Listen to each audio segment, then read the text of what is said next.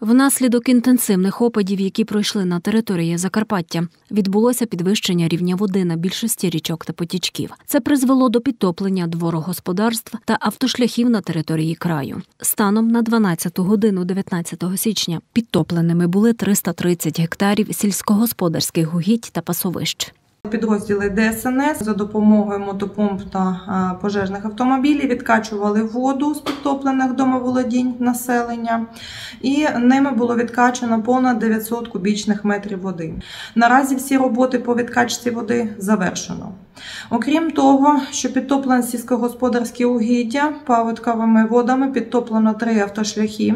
Два з них це автошляхи місцевого значення, е, великі ком'яти Шаланки, а також великі ком'яти Заріччя. Тут об'їзд здійснюється навколишніми населеними пунктами. І підтоплено автошлях національного значення Н09 Мукачево Рогатин Львів між населеними пунктами Гребля та Вільхівка.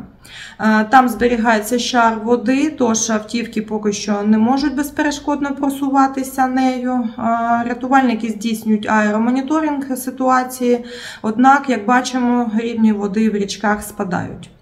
Е, Щодо гідрологічного е, повідомлення, то наразі на річці Латориця в місті Чок буде відбуватися підвищення рівнів води до 2 метрів. Це відбудеться за рахунок добігання паводкової хвилі з верхів'їв з утриманням води на заплави міждамбового простору.